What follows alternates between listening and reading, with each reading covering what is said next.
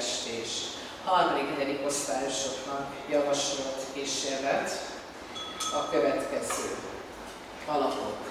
Elkészített szűrőpapír, megfestett szűrőpapír, mégpedig a konyha technikában használatos vörös káposzta, lila káposzta, lila káposzta, főzött lila, felaprított főzött lila káposzta levében beáztatott szűrőpapír darabokról van itt szó, és ilyen szép szint kap, megszállítva, otthon is elvégezhető kísérlet.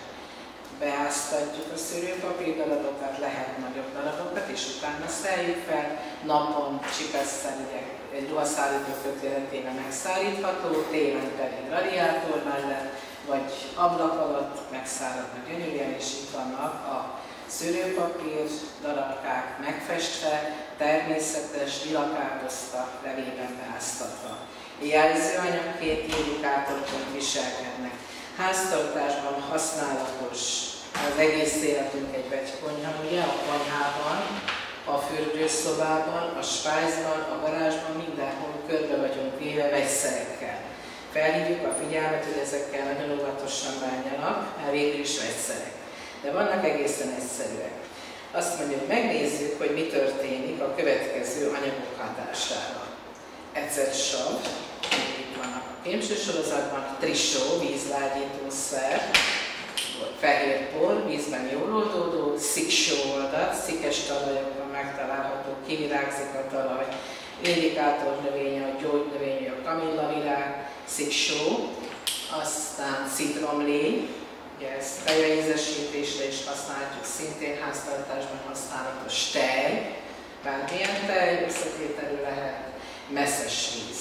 Messzes víz, oltott mész, hát ezt ma már nem nagyon használják a háztartásokban, ugyanis már nem oltott mészszel szállnak mészteljel, hanem diszperzit és egyéb festékekkel, de ez a hagyományos régi messzes víz. Most ezeket megpróbáljuk először csak kicsi anyagot viszünk fel az indikátor jelzőanyagként szereplő megfestett kis papírunkra, és megnézzük, csinálunk egy próbát, hogy milyen színű lesz ez a kék lila oldatokra áztatott, lila oldalon áztatott kis szűrő papírdarabkán. Ecetsavra piros színű lesz. Aztán mindig egy kicsit bemosom, megmosom és újra használhatom ugyanezt a kis urkapálcát. A következőben trisó, vízlágyítószer, forgalom. Vízlágyítószer hatására ugye régen nem karbont használtak, hanem ilyen egyszerű vegyszereket, rágít vízlágyítás céljára. Megnézzük, a piros mellé gyönyörű kék színeződés kap. Tehát kémhatások szerint színezik ezeket át. Ezt a szép kékes világos szűrőpapír. Következő sziksóvolat, szintén vízlágításra használták. a sziksó, ebbe is belelátom, ugye ezeknek azért van szavuk.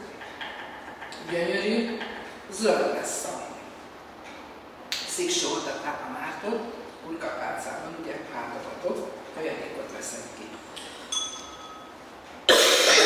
Következő citromnév, citromnév, lehet frissen is csavarni citromlevet, de lehet boltban kapható citromlevet használni.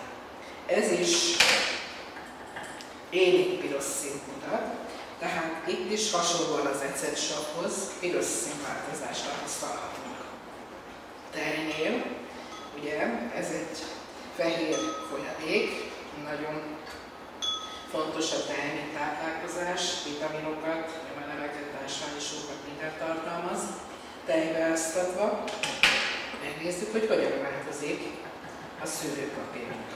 Nem fog nagy változást produkálni, már látszik, tehát marad ugyanaz a szín majdnem, mint ami eredetileg volt. Vagyis ilyen semlegességi állapotot mutat. Tehát tejben áztatva marad a kék színű vagy lilás színű elszíneződés, a szűrőpapír eredeti színe. Mindig visszataszom. És akkor messzes víz hatására, oltott mész, messzes víz mészte, többféle van neki.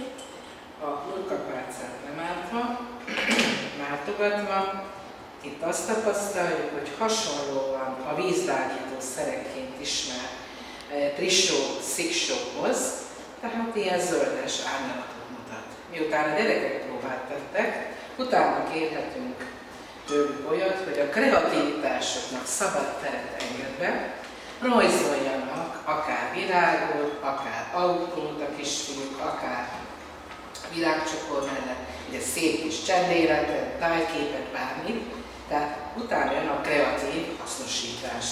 És akkor általában ezeket a munkalapnak olyan képestés, hogy be is lehet rajzolni, vagy ragasztani a megfelelő helyre. És akkor megvan nekik emléképpen. És akkor már tudjuk, hogy melyik milyen színű, ugye a növénynek a szára zöld, és a zöldnél ugye használtuk, akkor meg is jegyezheti a sziksó oldatot, és akkor rajzoljuk a növényke szárát, a levelét, ugye, és akkor festegetünk. Hát a gyerekek rendkívül kreatívak, és akkor a kis művészi képességeknek, adottságoknak megfelelően készíték a rajzokat. Tehát elkészült a virágnak ugye a szára és a levélkéje, és utána jön a virága, mondjuk legyen a sziromlevél akkor piros virágú, és azt pedig tudjuk, hogy ecetsavba, citromsavba mártogatva érjük el, ezen a jelző anyagban megfestett és szőlőpapír csikunkon. Vagy is jó, ecetsav, szép piros lesz, és akkor most rajzoljuk hogy a világszírmat hozzá. A gyerekek nagyon szép ötletes dolgokat tudnak készíteni, és akkor ki lehet egészíteni, otthon, a háztartásban megtalálható, a fürdőszobában, arcszesztő kezdve, bármit használhatnak. És akkor most csinálni még hozzá egy kis középre. Az kékes nyilás, tejbeáztató, akkor nem fog megváltozni, akkor kontúrvonalakat is rajzolhatunk hozzá. Tehát akkor készül ugye a kis cserélete. Mondom, a gyerekek ettől sokkal, sokkal szebbeket és különleges is tudnak készíteni, és ilyenkor szabadjára engedhető a fantáziájuk. Tehát képestés, színművészet, akár rajzórára, akár környezetórára lehet ajánlani. És még, ha nem is tudja, mit jelent, hogy indikátor, de jelzőanyag, tehát egy szép színeket tudunk produkálni a természet színei.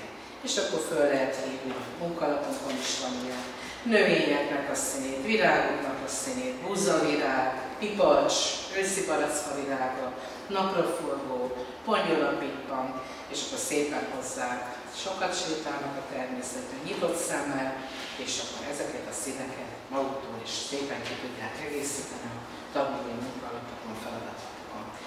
No, úgyhogy nagyon hasznos és érdekes szórakozás lehet a gyerekeknek, és szeretik is. Színskála és az eredmény.